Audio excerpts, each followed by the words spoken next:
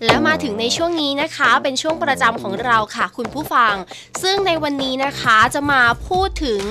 เมนูอาหารอย่างหนึ่งนะคะ เป็นวัตถุดิบอย่างหนึ่ง ซึ่งกว่าหลายปีที่ผ่านมานะคะ เป็นอาหารพื้นๆสามารถที่หาได้อย่างกลาดเกลื่อนค่ะ อย่างเจ้าเต้าหู้ไข่ไก่นั่นเองกำลังถูกจับตามองเป็นอาหารแห่งอนาคตนะคะ ด้วยคุณค่าทางโภชนาการสูง และประโยชน์ที่อัดแน่นในก้อนนุ่มนิ่มค่ะ นอกจากนี้นะคะ เต้าหู้ไข่ยังมีประโยชน์ช่วยเสริมทางด้านความสวยความงามด้วย เหมาะสำหรับคุณผู้ฟังที่ชอบดูแลตัวเองค่ะ แต่ว่าถ้านึกถึงเมนูที่มีเต้าหู้ไข่เป็นส่วนประกอบแล้วแล้วก็คงหนีไม่พ้นแกงจืดเต้าหู้ ซึ่งวันนี้นะคะบีบีก็เลยมีเมนูเก๋ๆอย่างยำเต้าหู้กระเทียมเขาบอกเลยว่าทำง่ายมากๆ เพียงแค่คุณนะคะ หั่นเต้าหู้ไข่ไปเป็นท่อนๆค่ะ แล้วก็นำลงไปทอดในน้ำมัน จนผิวด้านนอกเป็นสีเหลืองค่ะ ตักใส่จานพักไว้นะคะ แล้วก็โรยหน้าด้วยกระเทียมหั่นบางๆ จากนั้นราดด้วยน้ำยำรสแซ่บๆค่ะ ขอแนะนำเลยว่าต้องเป็นน้ำยำสำเร็จรูปตราซันซอสนะคะ ตัวช่วยสำหรับทุกเมนูยำที่จะทำให้คุณนั้นไม่ต้องเสียเวลาในการเตรียมเครื่องทำน้ำยำเองค่ะ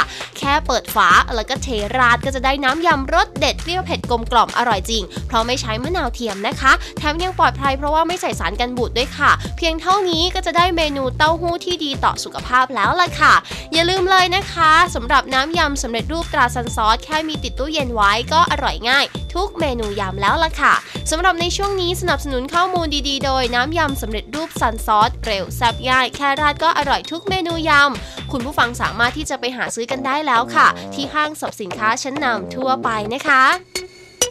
ซันซอสซันซอสอร่อยที่บ้านในทุกวัน